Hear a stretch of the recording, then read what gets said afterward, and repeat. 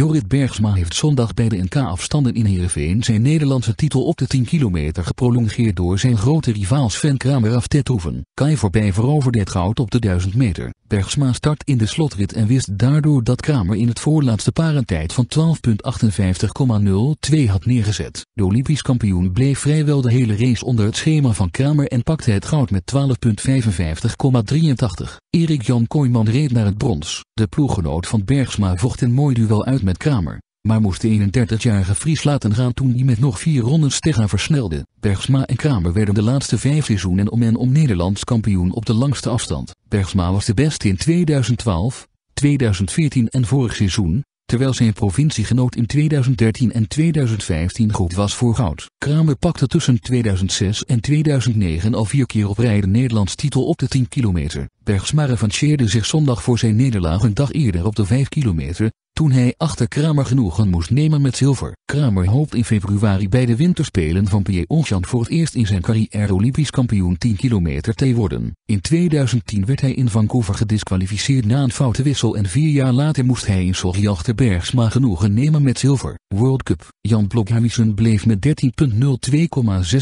13.02,56 maar 5 seconden boven zijn persoonlijk record en dat leverde de Noord-Hollander een vierde plek op in Heerenveen. Marathonschaatser Jouke Hogeveen eindigde in 13.10,08 als vijfde, waardoor hij zich net als Bergsma, Kramer, Kooijman en Blokhuizen plaatste voor de wereldbeker. De druiven waren zuur voor Simon Schouten, die op 8000ste van Hogeveen zesde werd en zo naast kwalificatie voor de wereldbeker greep. De 10 kilometer staat dit World Cup seizoen één keer op het programma. Over drie weken in het Noorse Stavanger. De top 5 van de NK-uitslag kwalificeert zich voor die wedstrijd. Op de 1000 meter prolongeerde voorbij zijn nationale titel. De 23-jarige schaatser van Team Plantina realiseerde met 1.08,30 de snelste tijd. Voorbij troefde Kjeldnuis in rechtstreeks gevecht af. De Zuid-Hollander, die van 2013 tot en met 2016 vier keer op rij NK goud veroverde op de 1000 meter, moest 0,22 seconden toegeven op de wereldkampioensprint. Koen Verwij eiste met 1.08,96 het brons voor zich op. De Alkmaarder schreef afgelopen vrijdag wel de 1500 meter op zijn naam. Naast Verbij, Nuus in Verwij verzekerden ook Thomas Krol, 1.09,22, en Pim Schipper, 1.09,46, zich van deelname aan de eerste wereldbekerwedstrijden van dit seizoen. Nodders P. greep slechts 300ste naast een World Cup ticket en eindigde als zesde. Michel, 1.09,95